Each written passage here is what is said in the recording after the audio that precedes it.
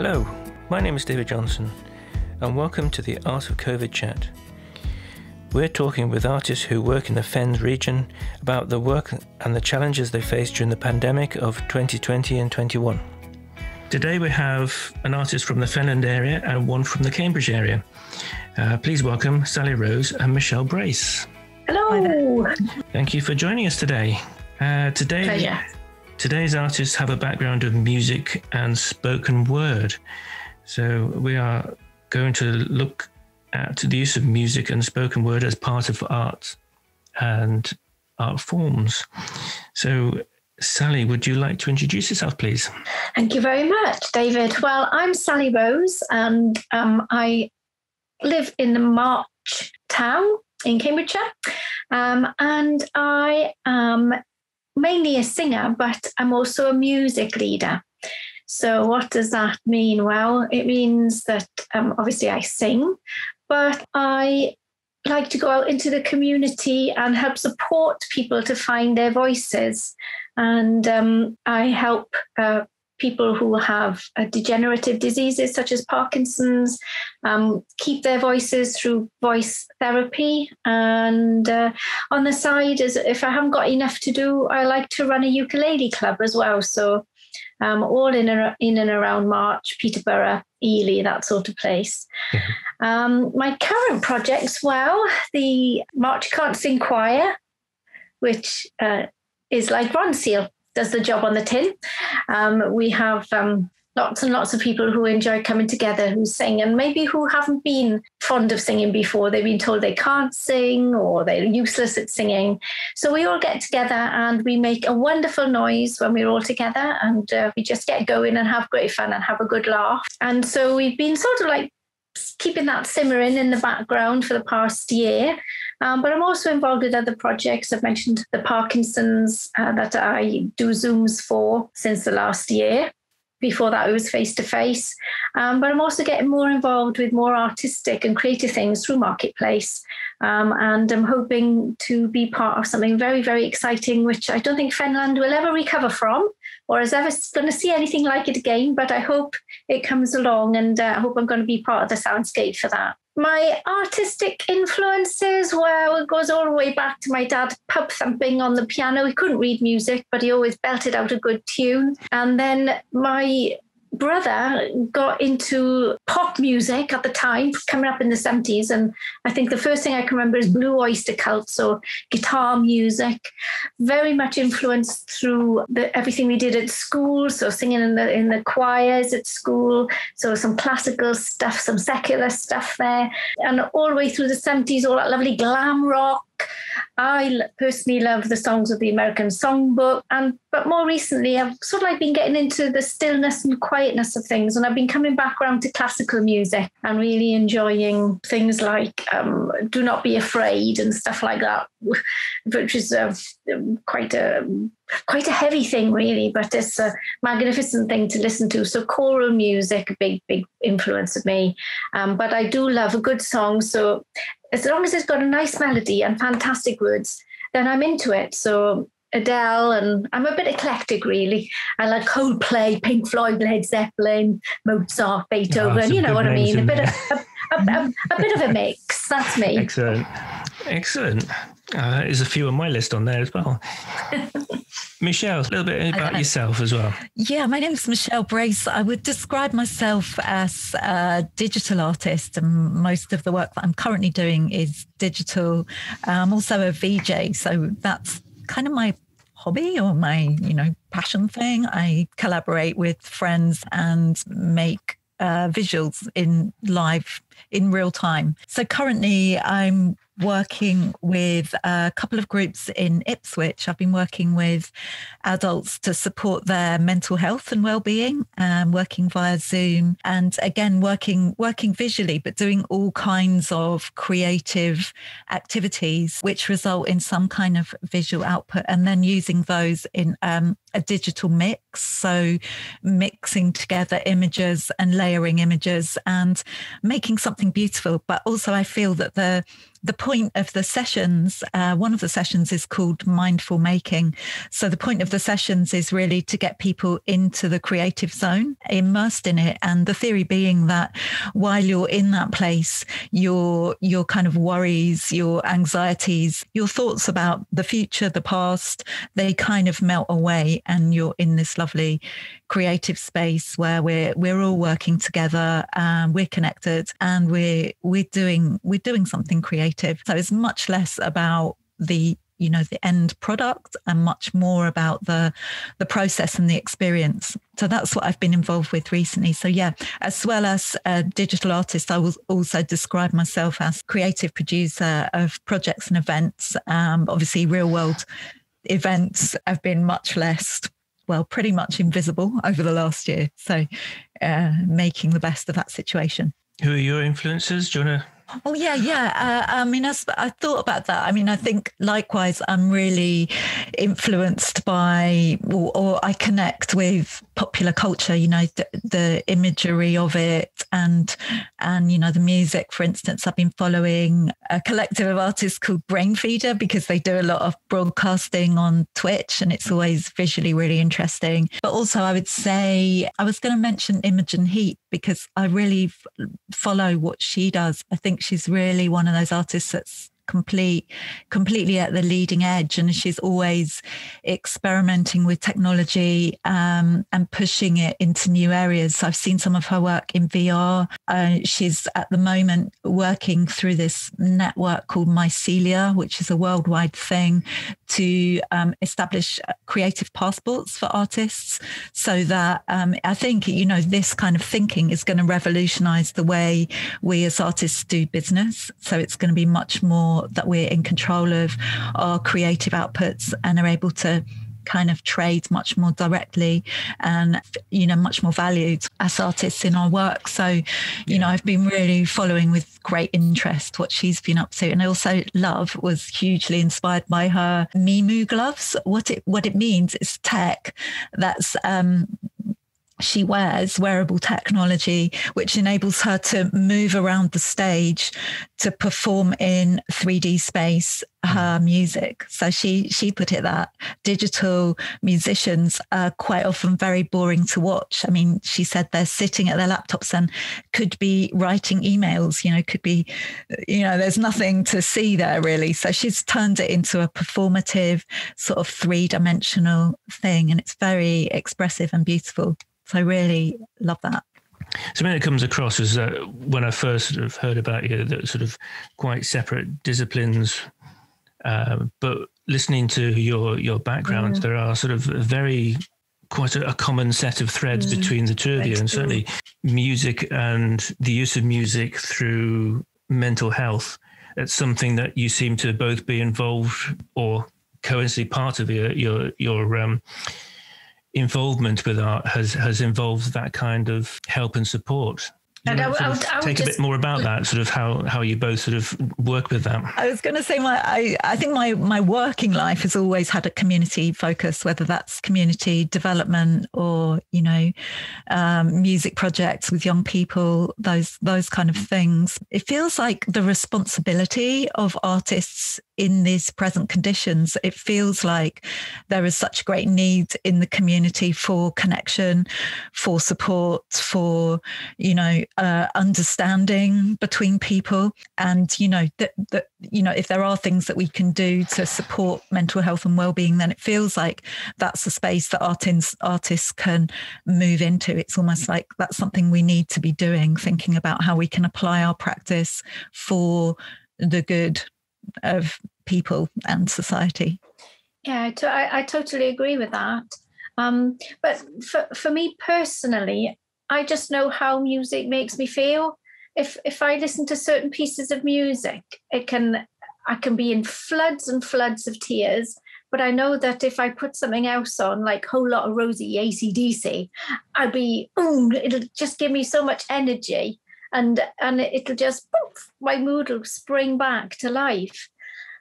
I think the thing about music is that it's quite um, it, it, it is healing when you listen to it if you can access it and listen to it but actually doing it and being part of it is it puts a lot of people off because uh, they can't play instruments. Um, they, as I've said before, with the choir, they think that they can't sing, and and I just would like people to just go back and back and back and think about people who don't have access to technology or to instruments and, and they manage to make the most fantastic sounds from their voices from bits of wood or, or, great big coconut husks that they found. And it just brings people together. And if you've ever, ever, ever had the pleasure of being surrounded Um, right in the middle, and I mean really close, so obviously can't be done at the moment, but just surrounded by voices all singing, you can actually feel the sound waves. It's a physical thing, you can feel it going through your body. And if you sing properly, if you watch an opera singer um, sing, they are using all of their body, all of their muscles. You know, they the, the, the way they stand and hold you can see their lungs going in and out like this from the or the sideways, like a, like a bellows, and you don't actually realize what what a physical thing it is. So it it just is just so beneficial and and it can release all your endorphins that you like that you get from chocolate and you still don't put on any calories. So what? What more? What more could it be? Just chocolate without the calories. It, it, it is a really, really, really powerful thing, and um, I, I just wish that I could get across how I feel about it and and and how I know that it can be a benefit and and for mental health and, and bringing people together is just it's just nothing like it for me. I think um, I, I, when when you were saying you don't necessarily need technology to be able to enjoy music mm. and your voice. I mean, I think that's been my approach as well with the sessions I've been running, trying to minimize barriers to entry. So, saying yes. you know, if you've only got a pencil and a piece of paper, then that's fine. We can work with that. You know, uh, mm. maybe a pair of scissors would be useful. Just pointing out that we can be, we can be mm-hmm. creative and expressive without having all of the latest tech gear. You know, we can still make something, and um, I think that's what's really important. Yes, uh, uh it, it it often yes you can you can do it, but how how much more would it would would would my experience be if if I could access tech and things the, the way that um, I want to there's uh, I know there's a, a boy, well, I don't, he seems like a boy, he seems like about 10, but I think he's probably about 19, something like that, a bit older. Don't even know if he's 20 yet, he could be. Jacob Collier. And and he, the, looping pedals, every, the, the things that he can do, he's got MIDI files and all these things, and the sounds that he creates. I mean, he's also a very experienced um, player. He plays, um, he's a multi instrumentalist as well, so he can put everything down and, and, and lay it down and start and stop it when he wants and change it and on all these things. And I'm thinking, how fantastic would that be? Of course, You could so in in a way, you don't really need and I to know about music just to make a sound. And I don't even think that I know there are programs that you you don't need to be able to read music or write music so that then you can write your music it'll write it for you so that then it can be passed on to other people to do with with what they want but um, there's just so many branches of it now. You've still got the country music, the folk music. They're still very traditional and things like that, and, and all the different cultures now that are that are within Fenland. I, I don't hear I, I don't hear the folk songs, but I know um, that traditional folk songs in, in the Eastern European, very, very, very strong culture there. But uh, it, it hasn't it hasn't come through into the mainstream yet here in Fenland. But there's there's so many, so many, many, and, and you think I can. I remember I went to a wedding a few years back. A Scottish person married an Indian person, and so part of the reception was they had a Highland bagpipers with a with a Indian bhangra drums my god it was it was just like wow. I was i was away. I didn't know whether to turn on a light bulb or, or whether to dig the soil or or whether to get out my kilt and you know do a highland fling but the, the marrying and so there's, there's there's just endless possibilities which are still still to be discovered and people people whose minds will think creatively or outside the box will be able to marry all these two all these together and uh, it's just it's just a wonderful thing music yeah you talk about the, the Fender music I was up in Spalding a couple of years ago for the, the BBC Folk Festival Awards. A live broadcast from, well, this time it was from Spalding, but it was all the the folk festival, uh, folk music from from the Fenlands, and it was it was really nice to see mm. surprisingly young people who were actually on stage, mm. and they were it was about ten bands, and each you know they were all singing either Lincolnshire-based Fen songs or um, further south into Cambridgeshire-based Fen songs. Mm-hmm. So there's definitely I say market, but there's definitely a vibe of um, Fen music, and it is beginning to sort of become more mainstream. And it's good that the BBC are, are sort of helping to promote that. Mm. Yeah, I hear what, saying, I hear what, you're saying, Sally, though, about the um, more diverse communities in the Fenlands and hearing those sounds. I think that would be really interesting to hear some of that coming through. Yeah, I, I would like to hear it. I, I really would. I, I, think it's just a way uh, to bring the communities together as well and to appreciate each other more. Exactly. Yeah, that mm. understanding cultures, I think that mm. music's a really good way in, isn't it?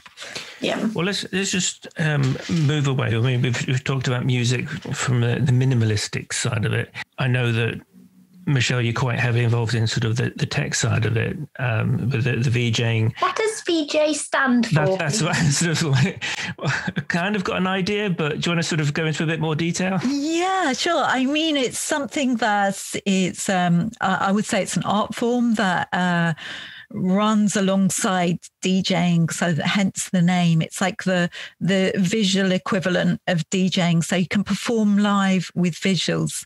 Um, that's essentially what it is. In terms of the relation to the technology, obviously you do need tech tools to do VJing, and I I use a particular program called Resolume, which is a absolutely incredible tool and really opens up what is possible. There's so many variables within that. So a bit like the equivalent of the the loop pedal, you know, you can make all kinds of you know derivatives of that image, uh, and on and on it goes. You know, but um, for me, the the important thing is the the content and the idea and the the visual imagery that people can relate to hopefully so i think um, in my view there's um, a really sort of tech tech heavy end of it visually. But what I like and what I enjoy is, for instance, using nature as a source of content or people or dancing or movement. Uh, I'm really into kind of textures and colors and making beautiful compositions that move. Uh, so, uh, you know, that's how I've been using it. So it's like um, adapting a tool to express something you know that's where my focus is. So even you know I, am interested in visual arts uh, that are not just tech. So then it's the art and the meaning and the idea that carries forward you know that that is there to communicate with people. So that's kind of what i'm trying to do where i'm get trying to get to anyway with my work. So it sounds amazing to be able to do that. I mean i didn't even probably right outside my my train of thought that but um yeah so you're taking images and making them move wow. Yeah, yeah, i mean you probably have you probably have seen it like big big gigs uh, usually have a visual backdrop these days. Ah so yeah yeah yeah and quite often yeah. it's very you know that it might involve live cameras or it might involve uh, you know, a band logo or something like that. Uh, uh, okay, and yes. it might involve an artist who's mixing in images, telling a bit of a story that goes with the yes, yeah, I've seen, I've, I've, I've, I've, I've seen it, but just to think, just to bring it, but that to me is like separate. Uh, you know, it's on something which is uh, for big people, not for little people like us, uh-huh. Like what I would be. I would be a little personal at, at, at this, the starting off, but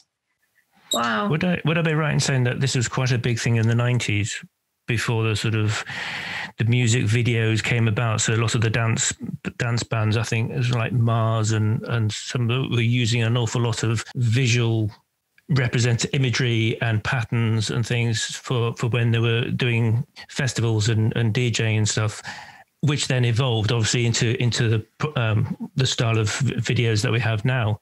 Would that be right? Oh yeah, I think so. I think there was a lot of experimentation, wasn't there, with uh, electronic music and visuals. That's completely right. And artists like Coldcut are really known for actually evol- evolving some of the technology to enable visual performance as well as you know electronic music performance and they have evolved side by side really yeah that they they do go hand in hand um, but i like you know thinking about it in other ways you know how else can we use this what how else might we be able to interact with it how else might you be able to kind of get involved, um, get involved with the visuals in some way? So they're the kind of things I'm looking at. You using tech in any ways, or are you still traditional? Oh, quite quite traditional. I, I I'm not a tech phobic, but I'm not very very au fait with it. If you if you know what I mean, I think it it scares me a little bit.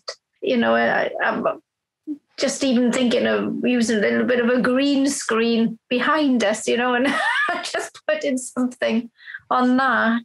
The tech side of the, of the music, though, it's, I mean, obviously we've been having to do things this last year through through Zoom, um, trying to um, reach out to people through Zoom, and it hasn't really worked for the choir, the March Can't Sing choir. I think uh, quite a, few of them are of the older generation, and so they they they like me are a little bit nervous about using tech and things. The Parkinson's groups, which I have done Zooms for, it's it's it's great um, to see everybody. So we, have had uh, had one recently, and there was quite a few people who turned up. But um, of course, I, I can't hear them, and and so I can't it, uh, for me, I, I, don't get any interaction, and, and that's a big part of things for me. And as a performer, singing and, and recording or doing a live via the internet, you, are here, you're, you're just standing there on, on your own. You don't really know if there's anybody paying any attention at the other end and and so it's uh, I, f- I find it a little bit soul destroying i know other people have really really embraced it and I, have been part of um, a, a big collaboration in, in Peterborough, and we've just um, done a, a, big choir for uh, a, a, new production which is coming out at the Lamp House Theatre. Um, so we've all recorded our parts and it's been all put together. And I mean, when you hear it and, and look at it, it, it looks wonderful. But when you're actually doing it at the time, it's a bit, hmm, I don't know how that was, or hmm, you know, I, I, think I could have done that a bit better, or, or whatever. So it, it's, um, I, have had uh, quite mixed feelings. I mean, I, I know it's enabled choirs and people to stay reconnected in some way, but it, it's just not the same for me. It's just not the same being there and feeling it and doing it. And you sort of like raise your game a bit when you're with other people and you, you know, you, you, you try that bit harder, I think, or you, you react to the next pe- the people who are around you. So it's um it, it has been very strange. So, yeah. but I mean, I, I would just love to get MIDI files and just ooh, do all those sounds all together and and reverse it and loop it and oh, the endless possibilities with that. Just just just let me out there. All I got to do is save up my pennies. like, yeah, it does does get expensive, doesn't it? you were saying Sally that you um, you really value the the feedback that you get when you're in in the room with people and that you can um, respond and react to them in that way. But I was thinking that the tech you know in some way well well re- really more so the lockdown over the last year in some ways it's it's not changed my way of working. You know, I'm, I'm still a mm. freelance artist. I mm. still mostly work from home, you know, from my shed, from my studio. But on the other hand, it, it has enabled some things, like you're saying, you were you were able to work remotely and put together a piece of music, uh, yeah. which in the end was a lovely thing. Uh, mm. and for me as well, you know, there was a project which I'd been thinking of for years, you know, for, for a long time, I'm thinking, yeah, it'd be really good to do that. But in my mind, it was about going individually into people's homes and talking to them and capturing stories. And actually, then through lockdown, and suddenly we were all on Zoom, it occurred to me yeah. that I could do that project much more easily. So, a situation a bit like this, recording people in the room and their stories connected to particular objects. And that you know that's the particular piece of work that i did with marketplace mm-hmm. was around um, we made a digital mantelpiece out of people's objects and the stories associated with them. And that was a really really lovely thing. So um, oh, that sounds lovely. It does sound I, I have yeah. to interject and say that i was part of that. Uh, yes yeah david was and that was great. You know it's a it was a really nice way of telling quite a personal story but um, through an object and you know maybe bringing a group of people a little bit closer together, you know, uh, enabling them to find out something about each other that they didn't previously know. And, you know, just as a trigger for those conversations. So, you know that that for me was a, a big plus you know meant that that project yeah. was was realized and not just this like how do i do this like how how do i actually find these people or mm. have these conversations so so yeah yeah i think it's uh, it, it, has been it's been good that uh, it's been able to keep people together really as much as we could carry on talking for, for hours and hours, and I think this probably would be. We may have to have a, another another podcast later on. But just sort of to wrap up the main things before we, we come to an end, we want to do a challenge and with each group of artists that we've had on the show so far, we've asked them to come up with a challenge to try and encourage encourage the listeners to uh, to get creative and, and, to get involved in some of the things that we're actually talking about. Sally, would you like to give us a challenge or something you can inspire the, the listeners? Oh, well, it's just a very very simple thing. Um, just like you to go out somewhere quiet if you can find and uh, just want you to walk walk at your own pace and i want you to try and connect with that pace. And just think of little rhymes that you can talk either in your head or out loud as you're walking past just to just to feel the rhythm and of, of your feet and the rhythm of the music going through your mouth. And it'll just come like a little like a little song Uh, whatever you make up it doesn't matter whether then you make up nonsense words but just try and and fit it in. And it, it's that you may find that if you're walking at the right pace it'll slow your heartbeat you'll be more aware of your breathing. And it's just all part of of being a, a sort of like a little musical process and and also listening to what's going on and the different pitches and the sounds that your feet are making and the, the teeth and the and and uh, your tongue and things like that. So it's just a little tiny mini challenge. You don't have to do any music. You don't have to do any singing. Just be aware of what's going on and enjoy the rhythm of your life at that particular moment in time. Yeah, I thought I'd set a little digital challenge. So uh, if you if you have a if you have a smartphone or you know um, uh, in your web browser, you can find an app called Photoshop Mix, and I thought it might be really nice to have a go at mixing a couple of different images. This is this is what I do in my practice as, as a VJ with layers layers and textures and colors. So look for look for patterns and textures and look for something that catches your attention and take a photograph of it and have a go at putting those two photographs together. Uh, and it, with a, an app like Photoshop Mix, it enables you to play with different blending tools uh, between two images. Uh, it's quite easy to use and fun to explore. Um, if you don't have access to something like that, then how about take a couple of pictures, print them out, and then uh, actually have a go at collaging them together. Uh, that's equally fun, I think. So, mm-hmm. yeah, that would be my challenge. A bit of a collage mix layering exercise. Excellent. That's good. So something for everyone. Definitely.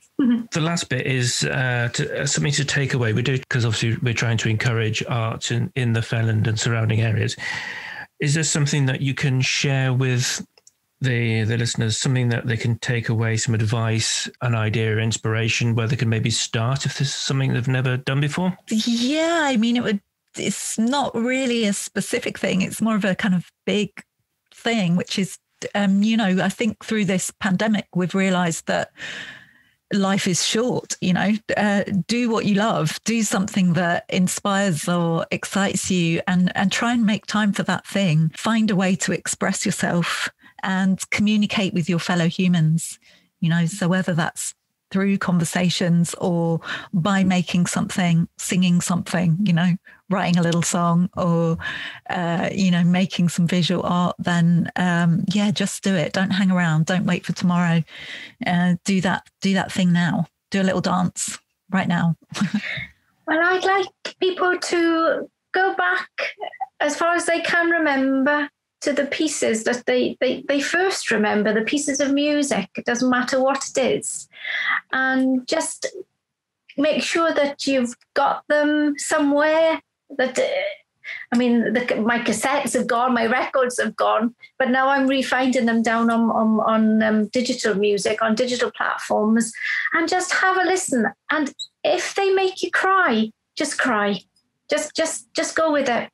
Um, and I'm sure the songs that you've maybe choose about maybe a half a dozen and uh, see what ranges of emotions will bring you. But but don't forget them because pieces of music that you remember are there for a reason.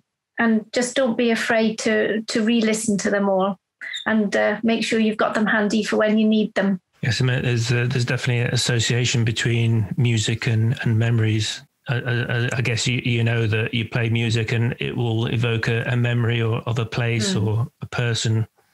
A thing, yeah. So you, you never know what you're going to, to remember when you when you start listening to these pieces again. Definitely.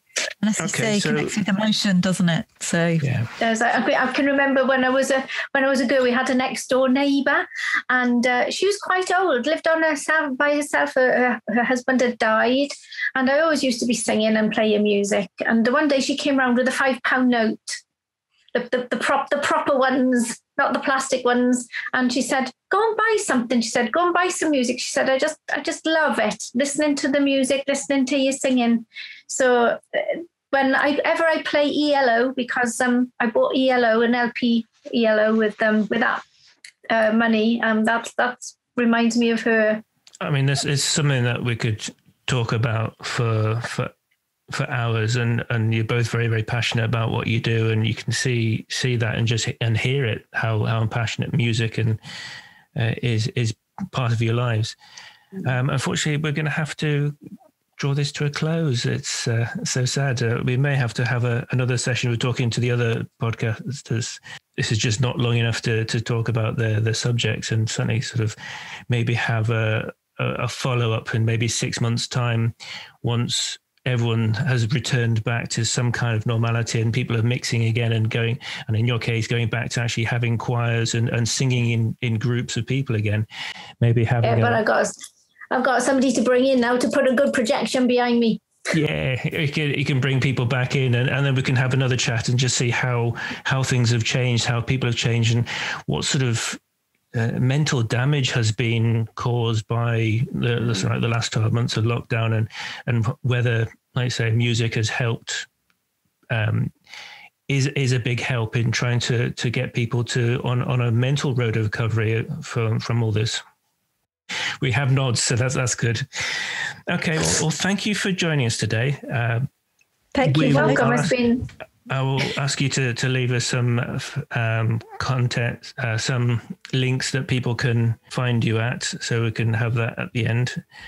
I'd like to thank our two guests, Sally Rose and Michelle Brace. Thank you to Marketplace for supporting the show. This is the the last one of this this current run, so I'm sure there will be another another series at some point in the near future, and you'll hear about them in social media as well. So until then, take care, and we'll see you soon. Thank you very much. Thank, Thank you. you. Thank you for joining me, David Johnson, and my guest today. The Art of COVID Chat podcast is a DMJ imagery production, working with the Fenland Films Initiative and commissioned by Marketplace, a creative people and places project celebrating creative communities across Fenland and West Suffolk. Developed by Arts Council England and supported by National Lottery funding. For more details, visit cppmarketplace.co.uk. I hope you'll follow our podcast and we'll bring you more chat and news soon. Thank you for listening.